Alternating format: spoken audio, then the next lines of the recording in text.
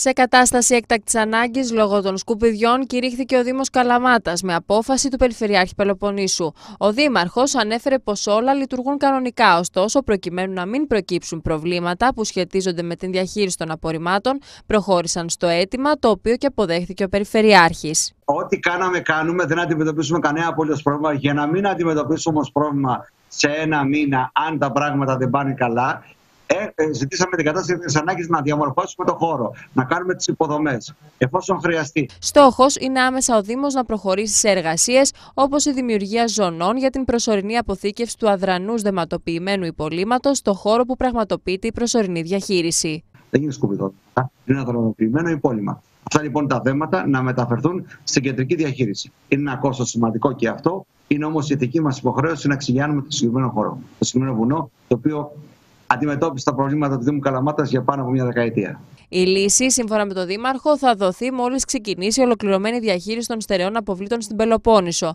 Θέμα για το οποίο συνομίλησε και με τον Γενικό Γραμματέα Διαχείρισης Αποβλήτων Μανώλη Γραφάκο. Το επισκέφτηκα τον ε, Γενικό Γραμματέα Διαχείρισης Απορριμμάτων, τον κύριο Γραφάκο, όπως ζήτησα μαζί του και του θέσαμε τα θέματα όλα αυτά που αφορούν τη διαχείριση, τα προβλήματα που αντιμετωπίζουμε ως Δήμος Καλαμάτας και τους ζητήσαμε, το ρωτήσαμε πότε θα ξεκινήσει η κεντρική διαχείριση. Γιατί έχουμε πει επανειλημμένω ότι το μόνο ρεαλιστικό και εφαρμόσιμο σενάριο αυτή τη στιγμή είναι η κεντρική διαχείριση που μπορεί να λάβει και να επιλύσει το πρόβλημα της διαχείρισης των απορριμμάτων στο σύνολο της περιφέρειας Πελοποννήσου.